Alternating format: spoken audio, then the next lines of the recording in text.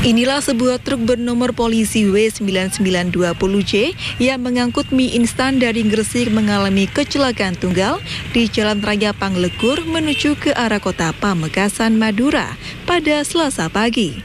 Truk Fuso terguling sehingga menutupi badan jalan.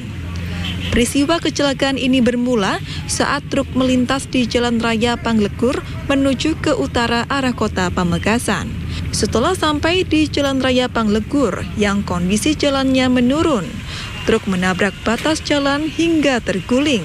Beruntung tidak ada korban jiwa, hanya saja sang sopir truk Junaidi, warga desa Pekalongan, Bista, kecamatan Kota Sampang, mengalami luka-luka. Ada gelombang itu ngantuk.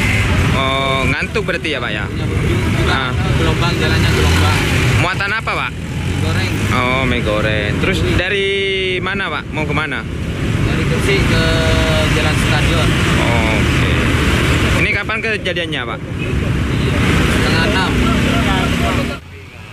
Kanit Laka Lantas Polres Pamekasan Ibda Sri Sugiyarto setelah melakukan olah TKP.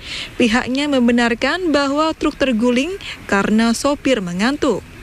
Dan akibat kecelakaan ini, jalan dua arah di Panglekur, arah Surabaya ke kota Pamekasan ini dialihkan sementara oleh pihak kepolisian. Muhammad Hasan, JTV.